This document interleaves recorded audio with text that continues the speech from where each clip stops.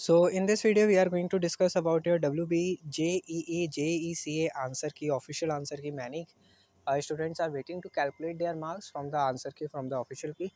So official answer key is going to be released uh, by the two days in upcoming two days they will provide you on its official portal. So before that my suggestion would be please refer to the unofficial key which is already available on YouTube. From there you will get a lot of clarity. As soon as they releases uh, in upcoming two days your official key so it will be very easy to uh, calculate your marks right? And plus they will also provide the objection form.